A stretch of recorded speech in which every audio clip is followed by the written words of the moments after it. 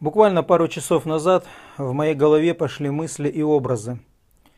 И такая информация, которую я, находясь в церкви, никогда не видел даже при многочисленном изучении, так скажем, Библии.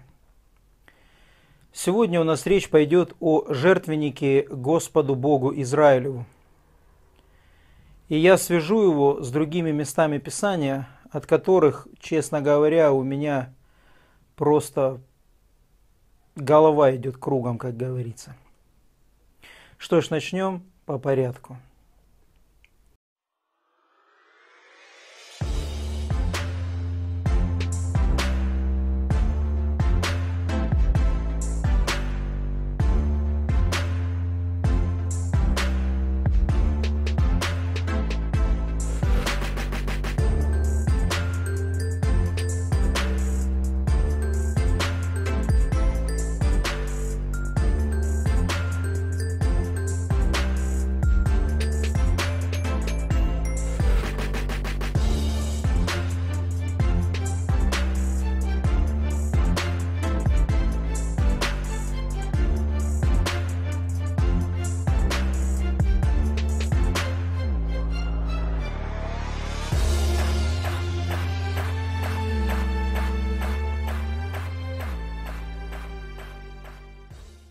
Друзья, в этом выпуске я хочу поговорить с вами о жертвеннике, который был в Ветхом Завете сделан для жертвоприношений Израилеву Богу. Что ж, давайте мы рассмотрим для начала конструкцию этого жертвенника и выясним, почему жертвенник должен был выглядеть именно так, как он выглядел. Начнем с того, что жертвенник имел четыре угла. Жертвенник имел четыре рога, а также имел золотой венец. Итак, обратите внимание на символ жертвенника, куда приносилась в жертву кровь. Первое. Тот, кто приносит жертвы, должен был окроплять рога жертвенника кровью. А также в подножье жертвенника нужно было выливать кровь. Таким образом осуществлялось жертвоприношение Богу Израиля. Теперь смотрим, что у нас представляет венец и рога жертвенника. Так вот, венец носится на голове, а не на какой-то части тела.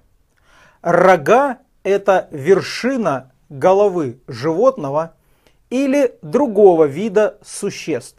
Символ жертвенника Богу Израилева представляет главенство Бога Израилева.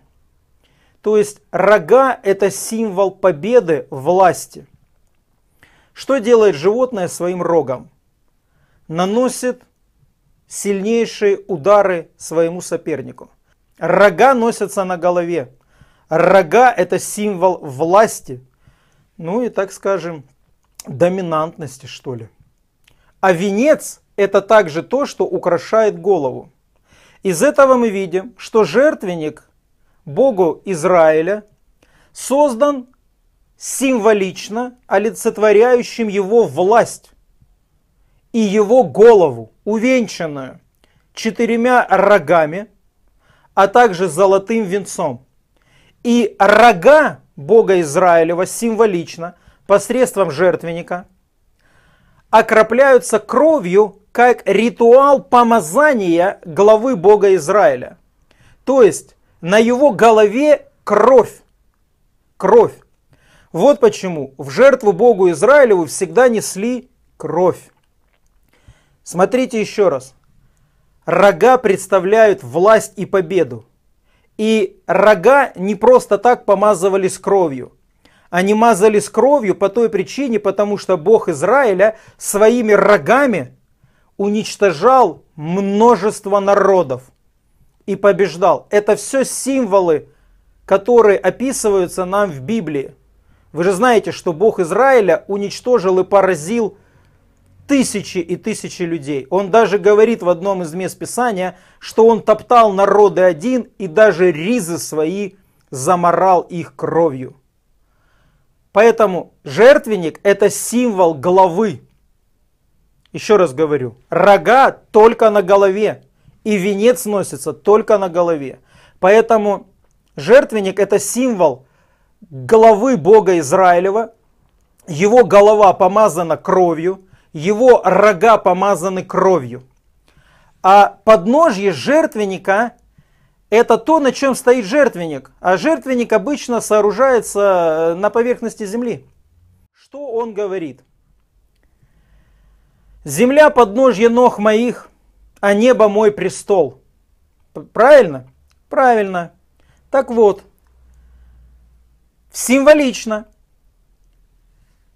под основание жертвенника лилась кровь в качестве жертвоподношения Богу Израиля. Потому что земля – это подножие его ног. А в подножие его ног символично, что мы видим в жертвеннике ветхозаветном, должны быть политы кровью. Так что эта земля будет поливаться кровью. Вот почему в Библии мы, люди, названы овцами. Что делают с овцой? Овец приносят в жертву на алтаре. Кровь овец. Поэтому мы, люди, расцениваемся как жертвенные овцы, которых бесконечно в войнах и во всех конфликтах приносят в жертву. Посмотрите во всех символах и прообразах.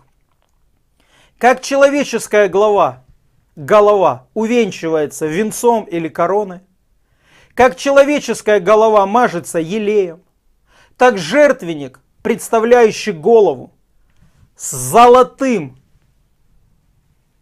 на ней венцом и с рогами, которые помазываются кровью. И подножье жертвенника также заливается кровью. Вот в таком вот мире мы и живем. Счастливо. Как-то так.